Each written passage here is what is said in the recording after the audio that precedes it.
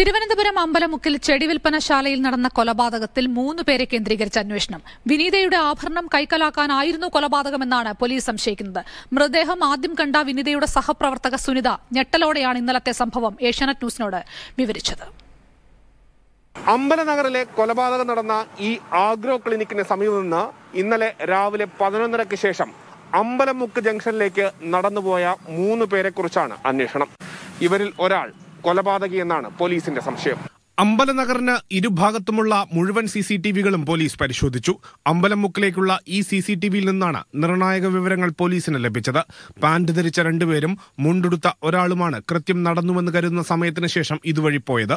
ഇവരിൽ ഒരാളിനെ കുറിച്ച് പോലീസിന് വ്യക്തമായ സൂചന ലഭിച്ചുവെന്നാണ് വിവരം. കുറവൻകോണം ഭാഗത്തേക്ക് ആരും പോയതായി ദൃശ്യങ്ങളിലില്ല. ഇന്നലെ ഞായറാഴ്ച നിയന്ത്രണമായതിനാൽ വാഹനങ്ങളും റോഡിൽ അധികമുണ്ടായിരുന്നില്ല.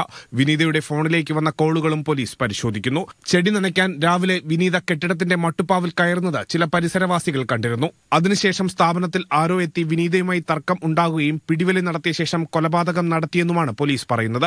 സംഭവസ്ഥലത്ത് ഇന്നും പോലീസ് പരിശോധന നടത്തി. വിനീതയെ കാണാതായതിനെ തുടർന്ന് മറ്റൊരു ജീവനക്കാരി സുനിതയാണ് സ്ഥാപനത്തിൽ അന്വേഷിക്കാനെത്തിയത്. ഇവരാണ് മൃതദേഹം ആദ്യം കണ്ടത്. തനിക്ക് പകരമാണ് വിനീത ഇന്നലെ ജോലിക്കെത്തിയതെന്ന് സുനിത കണ്ണീരോടെ പറയുന്നു. എത്ര താമസിച്ചിട്ടായിരുന്നാലും എന്നെ കൊണ്ടാക്കിയിട്ട് ചേച്ചി പോകത്തുള്ളൂ. ഞങ്ങൾ ഒരു വർഷമായിട്ട് ഞങ്ങൾ ഒരുമിച്ചാണ്. ഇവിടെ നിന്ന് ഇറങ്ങുമ്പോഴായിരുന്നാലും ഞങ്ങൾ ഒരുമിച്ചാണ് എപ്പോഴും ഞങ്ങൾ ഒരുമിച്ച്.